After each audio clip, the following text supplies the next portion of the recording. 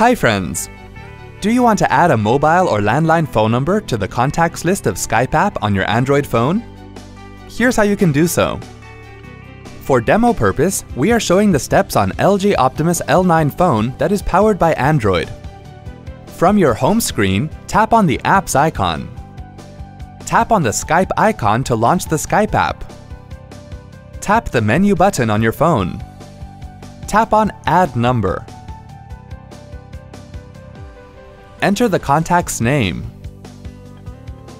Before entering the phone number, tap to select the country. Enter the mobile or landline phone number of your contact. Tap the tick sign to save the number. See?